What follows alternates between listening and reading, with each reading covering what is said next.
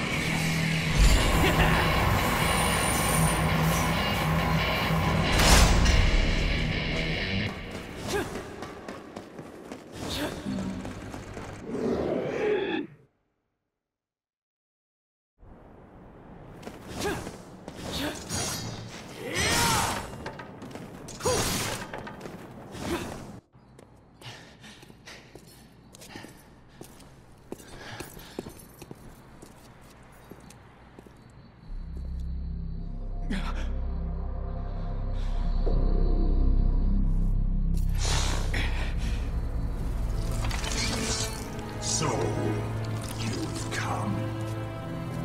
What have you done to Kyrie? Why don't you check and find out?